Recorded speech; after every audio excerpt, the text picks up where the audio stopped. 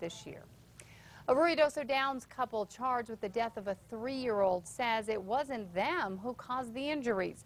The child's father, Paz Israel Primera, and his girlfriend, Savannah Morales, pleaded not guilty in district court last week for the death of Paz Israel Primera Jr.